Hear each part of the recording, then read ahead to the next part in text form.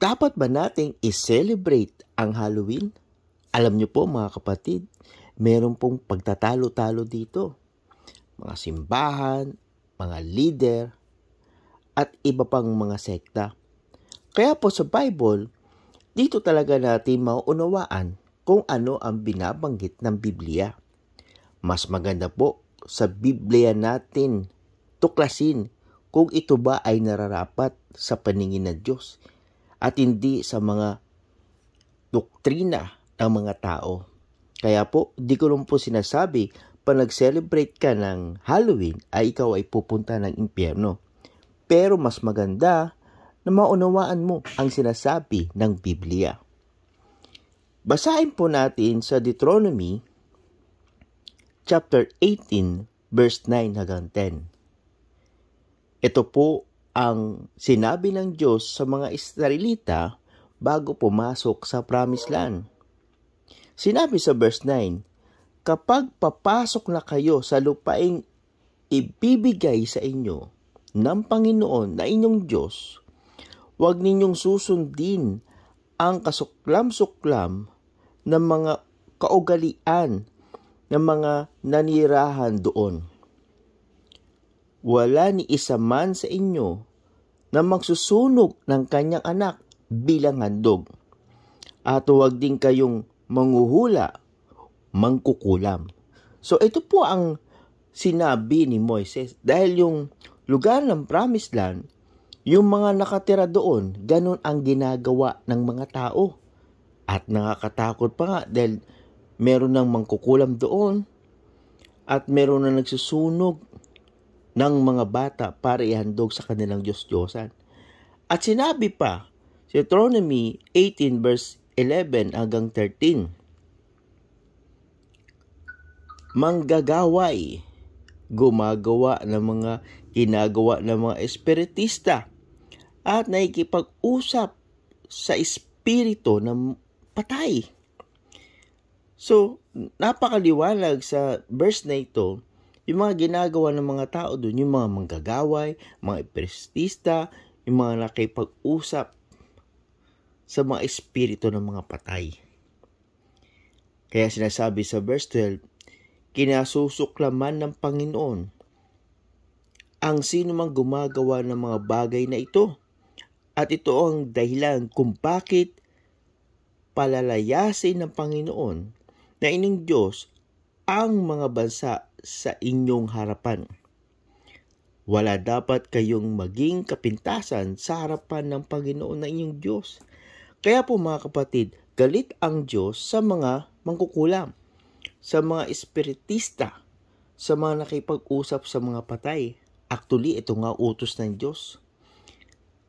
Sa Exodo 22 verse 18, ang mga mangkukulam ay dapat patayin. So, ganun po yung utos ng Diyos sa mga nangkukulam. Kaya nga, napakaliwanag, no? Dahil pagdating ng Halloween, lumalabas po rito yung mga mangkukulam, mga kapre, o mga manananggal, o sari-saring mga, mga demonyo ang lumalabas doon sa Halloween.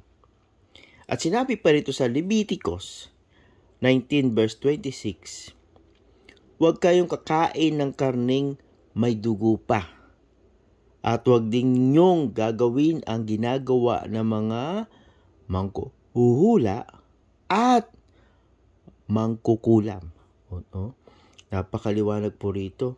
Ayaw pala ng Diyos na tayo ay kumakain ng mga dugo na ginagawa ng mga manghuhula at mga mangkukulam kasi marami silang mga seremonya na ginagawa dito.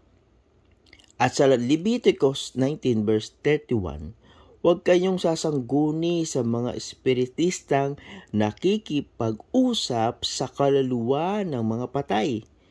Dahil kapag ginawa ninyo ito, ituturing kayo na marumi. Ako ang Panginoon na inyong Diyos. Isipin mo, itong utos ng Diyos, huwag daw tayong sasangguni sa mga espiritistang nakikipag kausap sa mga kaluluwa ng mga patay.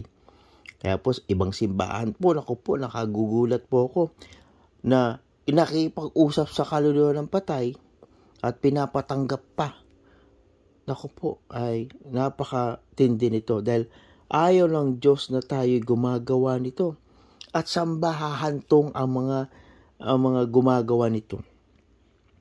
Sa Bible, sa Apokalipsis 21 verse 8, Ngunit sa mga duwag, sa mga hindi mananampalataya, mga karumal-dumal, mga mamatay tao, mga makiapid, mga mangkukulam, mga sumasamba sa Diyos-Diyosan at sa lahat ng mga sinungaling.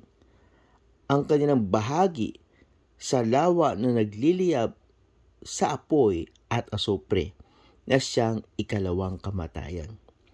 Mga kapatid, anumang klasing pagandahin natin ang tinatawag nilang Halloween party pero lumalabas pa rin doon yung mga mga mangkukulam. E ayaw nga ng Diyos na makipagsangguni tayo sa mga mangkukulam.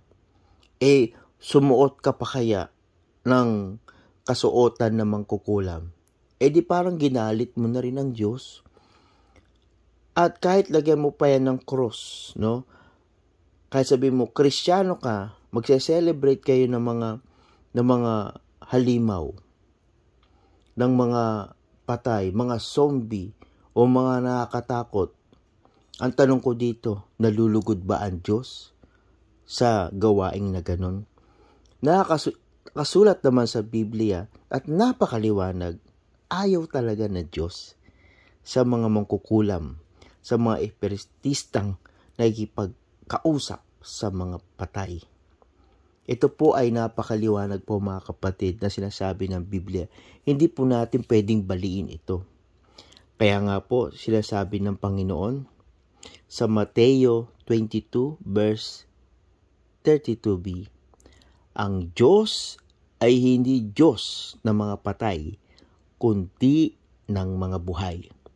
Sana po mga kapatid, itong mensaheng ito magbigay sa atin ng kaunawaan na napakaliwanag sa verses na ito na sila sabi ng Panginoon, ang Diyos ay Diyos ng mga buhay, hindi ng mga patay. God bless you po mga kapatid.